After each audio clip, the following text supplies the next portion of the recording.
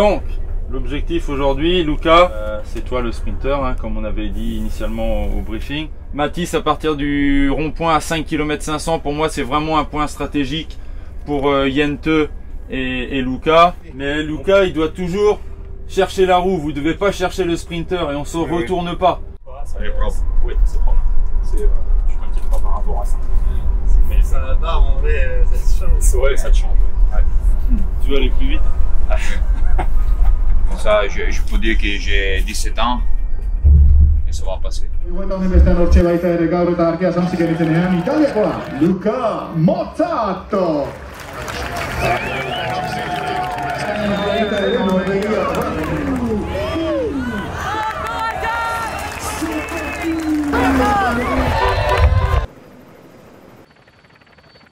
de 553 pour la mètre de l'arrivée dans moins d'un kilomètre. On a essayé de faire, de faire le maximum aussi avec euh, les copains qui euh, m'a aidé le plus possible. Mais on est là, on est, on est là pour, euh, pour jouer notre carte et j'espère de, de faire de, de bons résultats les prochains jours. Ah, c'est dur, on va jamais le revoir. Il est resté sur le plateau. L'idée de l'équipe pour moi elle est d'essayer de euh, faire, faire des résultats au sprint et d'aider un peu le collectif dans les, les étapes un peu plus dures. Ah bah il y a de la place où sprinter hein. Euh, C'est une arrivée un peu spécifique sur un circuit automobile. C'est pas une arrivée euh, comme d'habitude. Donc point de passage vraiment important. 5-5, le rond-point. Après on va chercher le droit à 4 km 2 de l'arrivée.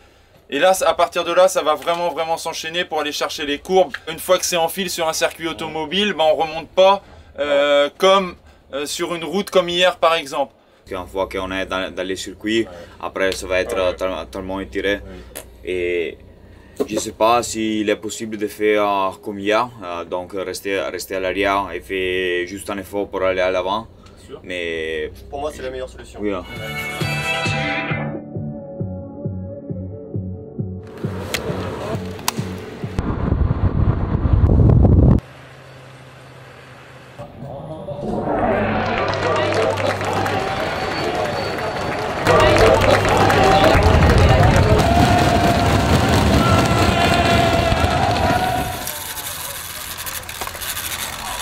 on a essayé de faire le maximum. Et Mathis surtout était vraiment, vraiment super. Mais en fait, euh, j'ai- j'ai retourné avec les mêmes résultats qu'hier. En deuxième place, euh, donc euh, il y a encore de belles occasions pendant ce tour. Et donc euh, on verra qu'est-ce qu'on peut faire.